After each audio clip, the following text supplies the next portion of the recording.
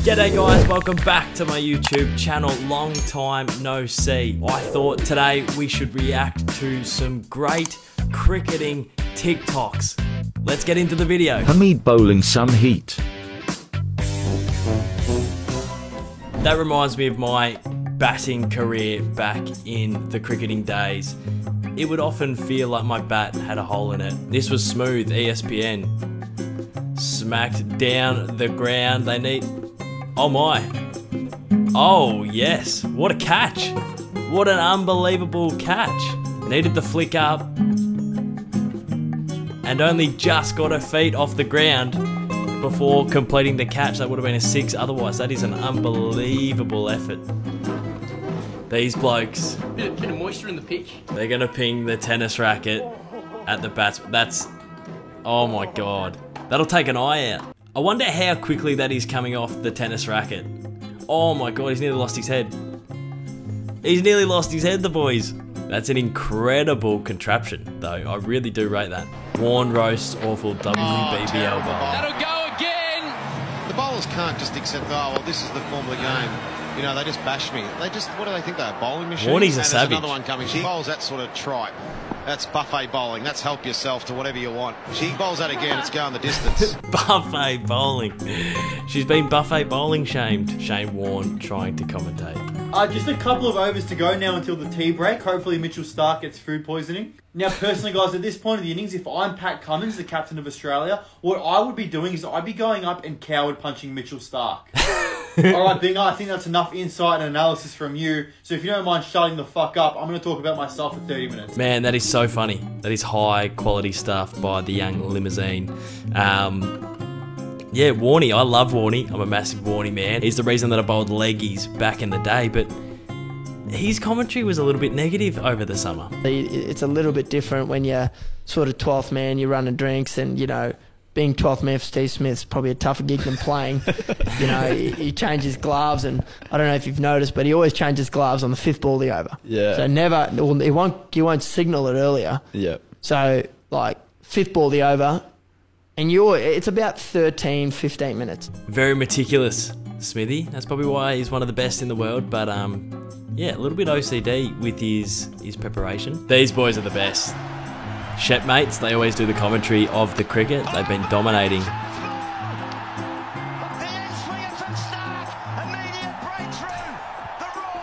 Starkey's uh, first wicket off the first ball. Shit, great cricketers never say. Damn it. Cricket training's cancelled. So you're hungover on a Saturday morning for our fourth 11 cricket game. Mate, we're playing sixth on the ladder. You can't be doing this. There's no excuses, alright? Andrew Symonds tackles a pitch invader.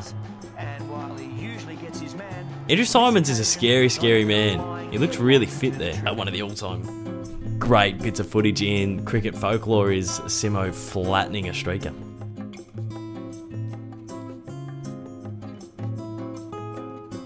What is happening here? Oh, it's hit him on the pads.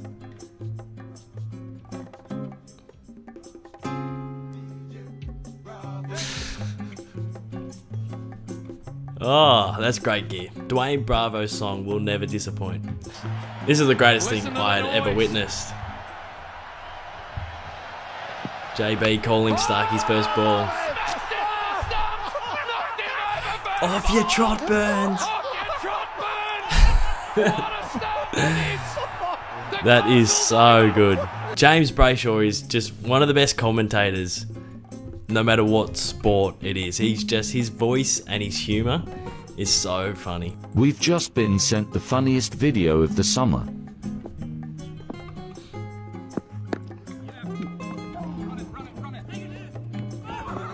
Oh no. Oh no, that is a nightmare. That is a nightmare. Village cricket. That's funny, like Sunday League, village cricket. I think it's um, all a bit the same, but that bloke has had an absolute nightmare. He's dropped an, the biggest sitter you'll ever see, and then he's missed one of the easiest runouts you'll ever see. He could have just walked up and taken the bails off. I once dropped an absolute sitter in a cricketing final. We went on to win, but it got spanked to me at mid-off, I believe I was. It was either mid-off or mid-on. And um, yeah, I just did not want to get my body behind it, so I sort of moved out the way and it pinged. It flew. It flew to me. I, I got out the way, got my hands to it, and um, went straight through my hands, and it stung so bad. And I was just gutted, so I started crying on the field. I think that was under 15s. Not a good look.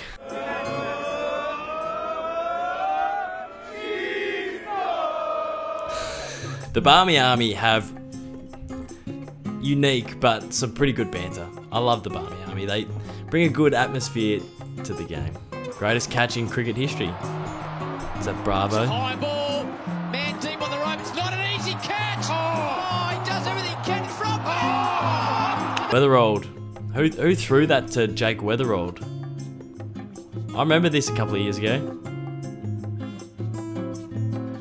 Is that um Ben Laughlin to Weatherald?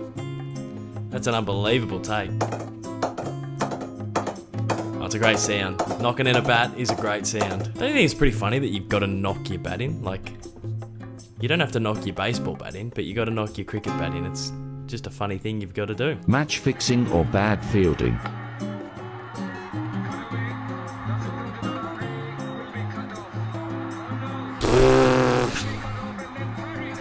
He spooned that over the boundary line. That that's got to be match fixing. There's got to be something behind that.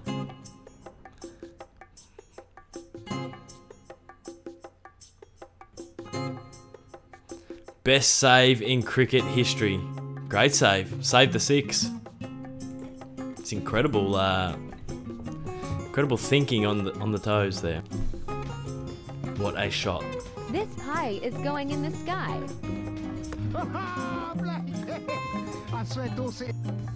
He got bowled. He can't be getting bowled by This that. pie is going in the sky. He's had a Glenn Maxwell brain fade and left it right on middle peg. Jake Fraser McGurk's catch from the stands. That that's an unbelievable take.